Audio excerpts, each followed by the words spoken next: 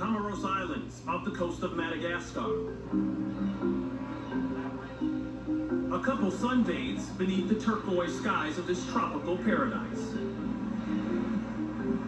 When suddenly,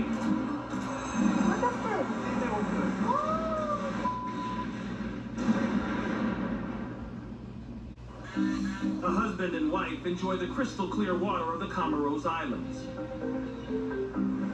From out of nowhere, a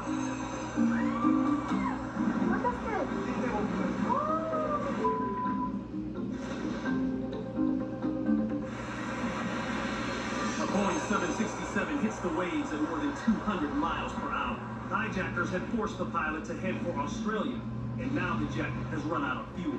The pilot attempts an emergency landing. The left wing of the 767 skims across the water,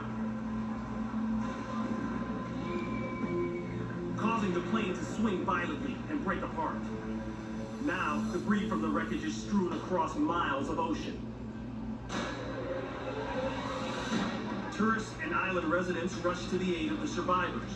Luckily, expert scuba divers and a group of doctors are on the scene. They're able to save 50 people. 125 are dead, including all three hijackers. The perpetrators were intoxicated and claimed that they had a bomb. It turned out to be nothing more than a paper-wrapped whiskey bottle. This was the pilot's third hijacking. He was one of the survivors, and today, the pilot still flies.